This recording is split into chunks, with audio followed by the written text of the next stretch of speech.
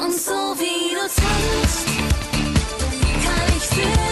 you gonna realize that he's not into you like I am?